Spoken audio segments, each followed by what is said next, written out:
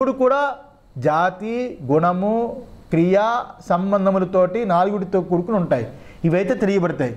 కానీ ఈ నాలుగుటికి విషయాలు ఇవన్నీ తెలియబడతాయి కానీ బ్రహ్మము ఈ నాలుగు లేనిది.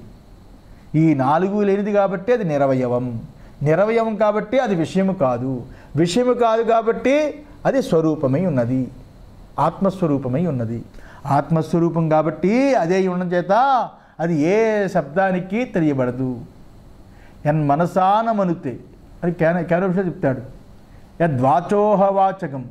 ఏదైతే వాక్కు చేత శబ్దగోచరమవుతున్నదో ఆ శబ్దగోచరమైన వస్తువు బ్రహ్మము కాదు. ఏదైతే వాక్కు శబ్దాన్ని పలుకుతున్నదో ఆ వాక్కు బ్రహ్మము కాదు. ఏ వాక్ అయితే దేని చేత ప్రేరేపించబడి ఉన్నదో అది బ్రహ్మమై ఉన్నది.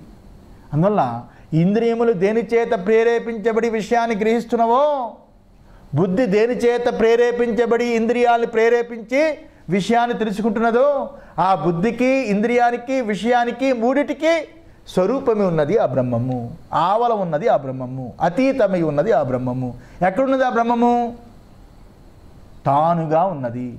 తన స్వరూపంగా ఉన్నది. తాను తన యందు నేననే బుద్ధి బుద్ధికి తోచే ఇంద్రియాలు ఇంద్రియాలకి విషయాలు. విషయాలు చూడాలంటే ఇంద్రియాలు ఉండాలి ఇంద్రియాలు చూడాలంటే నేననే బుద్ధి ఉండాలి బుద్ధిని చూడాలంటే తాను ఉండాలి బుద్ధిని చూడాలంటే తాను ఉండాలి అందులో తాను నేనుకి విషయం కాదు ఇంద్రియాలకి విషయం కాదు అలాగే విషయంలో విషయం కాదు. మూడిటికి తాను తెలియబడదు కానీ తాను చేత ఈ మూడు తెలియబడుతున్నాయి. ఈ తానికి జాతి లేదు గుణము లేదు క్రియ లేదు సంబంధం లేదు. సంబంధం పెడదామంటే అద్వితీయత్వాత్.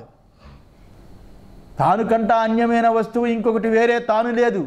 ఒకే తాను ఎందు అనేక నేనులు తోస్తున్నాయి. ఒకే తాను ఎందు అనేక బుద్ధులు తోస్తున్నాయి. ఉన్నది లేదు లేదు ఉన్నదని అనేక బుద్ధి వృత్తులతో కూడుకొని అనేక బుద్ధులు తోస్తున్నాయి. అన్ని బుద్ధి వృత్తులు ఒకే తాను ఎందు తోస్తున్నాయి. తానుని మాత్రము ఈ బుద్ధి వృత్తులు ఏవి గ్రహించలేవు. ఈ బుద్ధి వృత్తులు దేని గ్రహిస్తుందంటే దానికి ముందున్న ఇంద్రియాలకి గోచించే విషయాన్నే గ్రహిస్తుంది. దానికి ఆవులు ఉన్న తన స్వరూపమైన బ్రహ్మతత్వాన్ని ఆత్మతత్వాన్ని తానైన స్వరూపాన్ని గ్రహించడానికి ఈ బుద్ధికి కుదరదు. ఇందువల్ల ఆ తానైన బ్రహ్మము అతీంద్రియత్వాత్. బుద్ధి అనే ఇంద్రియానికి గోచరము కాదు. బుద్ధి అనే ఇంద్రియానికి గోచరం కాదు. అందులో బ్రహ్మము కన్నా వేరెవదైన వాచకం అనేది ఇంకోటి లేనే లేదు. ఆ మాట చేత బ్రహ్మము వాచ్యం అనే సంశయం ఎలా వస్తుంది? వాచ్యము వా అంటే తెలియబడేదని ఎలా వస్తుంది? కల్పితమైన వాచకాలకి ఒప్పుకున్న బ్రహ్మము దానిని దాని బ్రహ్మము దానిని కూడా ప్రకాశింపచేసే విషయ స్వరూపంగా ఉన్నది. సర్వ వాచకాలకి అంటే సర్వ శబ్దాలకి అది విషయంగా ఉంది. అందువల్ల దేనికి ఆ బ్రహ్మము విషయము కాదు. అందువల్ల వాచకము కూడా ఆత్మయే. ఆత్మ యొక్క చేతనము చేతనే అక్కడ నేను అనే వృత్తి కలుగుతున్నది.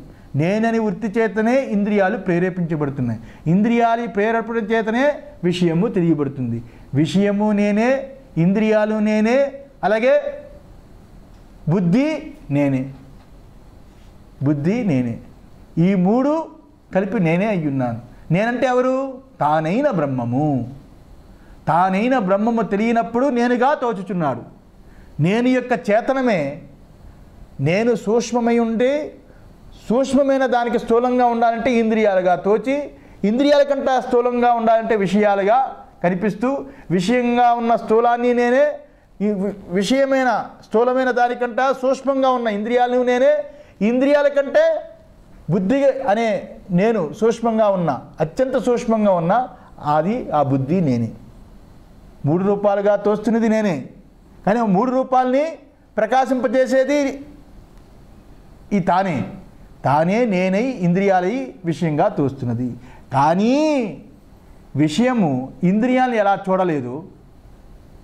ఇంద్రియాలు బుద్ధిని ఎలా చూడలేదు? బుద్ధి ఈ స్వరూపమైన ఆత్మని చూడలేదు. ఈ బ్రహ్మమును చూడలేదు.